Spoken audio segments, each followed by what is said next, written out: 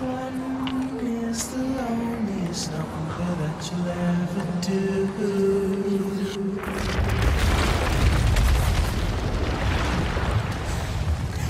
Two can be as bad as one. It's the loneliest number since the number one.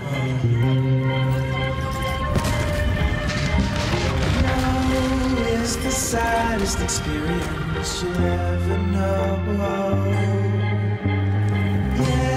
Yes, it's the saddest experience you'll ever know.